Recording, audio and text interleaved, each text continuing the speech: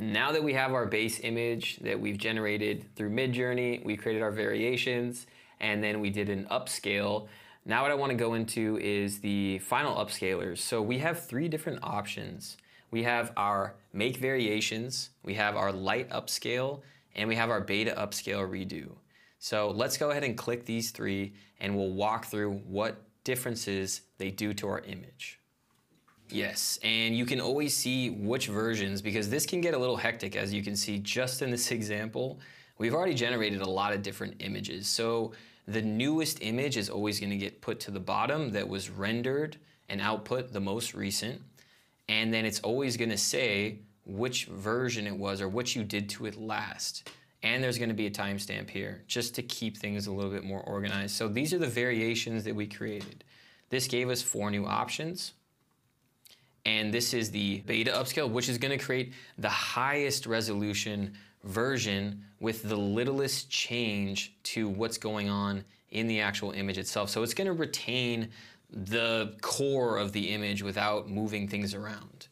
We then have the light upscale that we did that did not turn out well. Sometimes this will happen with images where depending on if it's a face, a landscape, an animal, a car, you know, a abstract image, they're gonna work better and it does take a little bit of trial and error. They're gonna work better with different types of upscales. So if you don't get the output that you like, for example, this is not a desirable output, luckily we also did the beta upscale and it gave us, it gave us a really excellent output. So I would recommend doing a little bit of trial and error and find what works best for your specific image. Let's say we're ready to move forward with this one, which is clearly the best that we have so far. The options that we have are we can download this image as is, which let's go ahead and do that. We're gonna say that this is beta upscale v1. That's gonna go to the downloads and then we can continue to upscale it and even we have a new function which is called remaster. So now let's do these three and see what type of outputs we get. So now we have our newly updated images and you can see we kind of have an issue here. We have our upscaled, it got totally distorted. And then we have our upscaled light that equally got distorted as well. In Midjourney, sometimes it's getting better day by day and updated constantly to get better at what it has difficulties doing, which are numbers, letters, human faces, and anatomically correct features. So sometimes with human portraits specifically, you don't need to continue to upscale and upscale and upscale because it'll start to degrade the image. And what that tells me is I actually want to do a second example where we're not doing a human face so that we can more specifically see how much more detail it's adding to something that's maybe of a car or a landscape. But back to this example, we have our upscales that we're not going to use. We could continue to retry this um, to get a more clean image. I am really happy with this one, but I want to talk about the remaster function. Now that we're later in the process of bringing up the resolution, the remaster function gives us a high resolution, so we're not starting from square one on our preview, low resolution, 512 pixels by 512 pixels. But now what we have is a higher resolution version of two new versions that if we didn't like something about our current version, we can remaster it to get to newer versions. So it's really handy for wanting to just change a thing or two. If we look at these side by side, different shape in the goggles, different reflection, different skin tone, different nationality, and a few other little variations with the background while retaining the really cool look that we've developed in this process so far of getting to this image. So let's go ahead and look at our download, which is 2048 pixels by 2048 pixels. And this is what it looks like full screen. It's not bad. It looks really unique. There are a few adjustments that I would continue to do on smoothing out the skin and it's not bad and it's a really cool example for this lesson. Now, like I mentioned, what I wanted to do is start from scratch and go through this process again so that you can more specifically see how the upscaling and the variations are working with something that's not needing to be anatomically accurate. So let's go ahead and type in sports car with cinematic lighting, headlights turned on, driving through colored smoke. Photo realistic. And let's see what we get.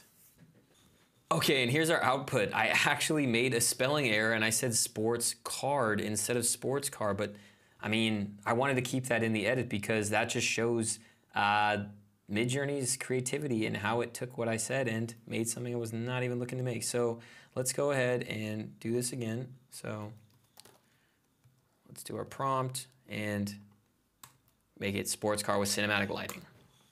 Here is our output. Okay, these look really dang cool. So what I wanna do is I wanna focus on number one because it looks the most accurate to what a sports car, this looks like it made a version of a Lamborghini, looks like. And I think it's gonna be a good base image to work with. So I'm gonna upscale this.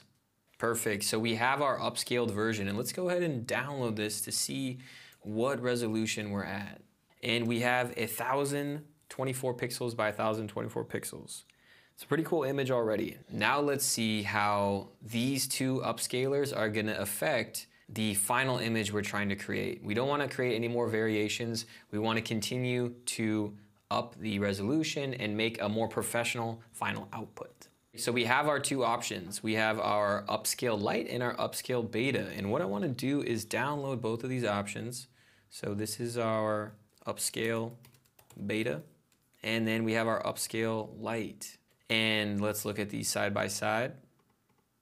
And you can instantly see the differences. So beta is the newer version of Midjourney that's more intelligently looking at the pixels and assuming or predicting, depending on pixel to pixel, what pixels it can essentially add to make a more higher resolution image. So it's a little bit of experimentation and it's a little bit of knowing what these specific upscalers are doing. And for this specific example, the beta is clearly working better to create the more professional final output. Let's now see the difference in size. So the upscale light is 1536 by 1536 and the upscale beta which is great because this is the version we want to use is 2048 by 2048 so in most circumstances because the beta is newer it might change the name in the future but for now it's called beta. This is going to be the one you're going to want to use. Now here's the one we want to use upscale beta.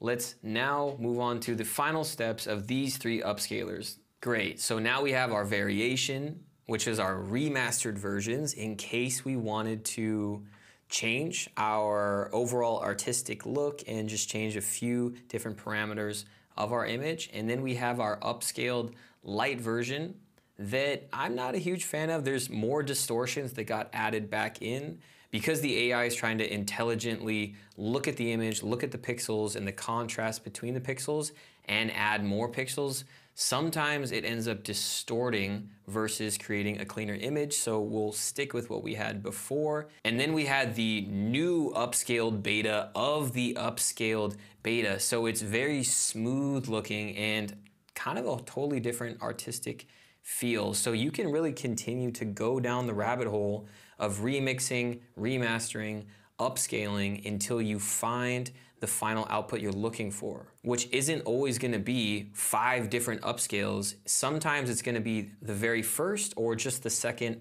upscale that you're doing in this process.